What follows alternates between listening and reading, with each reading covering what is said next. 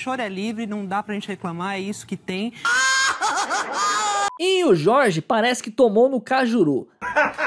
A vida do senador não vai nada fácil. Após a Luciana Jimenez querer 40 mil reais do cajuru por ter sido chamada de puta e também ter aquela polêmica toda dos vazamentos do áudio dele com o Bolsonaro, desta vez quem resolveu criticar o cajuru e dizer tudo o que pensa sobre o senador foi a Patrícia Abravanel. Vamos ver aí mesmo? É isso Esse Cajuru, gente, sério, ele fala umas coisas. Pois bem, é, ele... É, Cajuru, sério, eu não gosto muito do que você fala não, tá, Cajuru?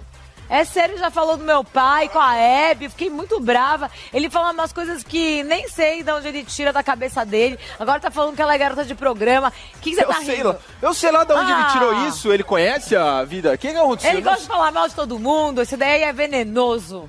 Ele tá igual a Fabiola da, da Record e o Léo Dias. Tudo venenoso. Peraí. A Patrícia Bravanel sempre excelente em suas análises. É verdade, pé de pano. Ela mandou muito bem em sua opinião. E o que, que, você achou dessa atitude do Cajuru aí em toda hora querer arrumar polêmica? Ah, ele é patético, só quer se aparecer. Sim, pé de pano. E você acha que o Jorge, depois de tomar no Cajuru, tem chance de ser senador de novo? Ganha nem pra síndico de prédio mais. Decepção pra esquerda no Brasil. a petralhada vai chorar a noite toda hoje.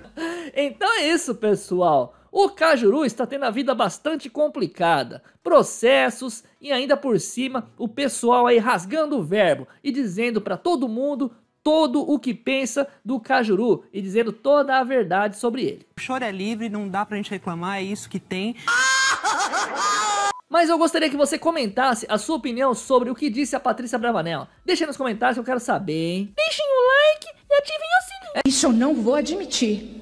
É isso aí. Faz como o pé de pano disse. Muito obrigado. Forte abraço. Acabou.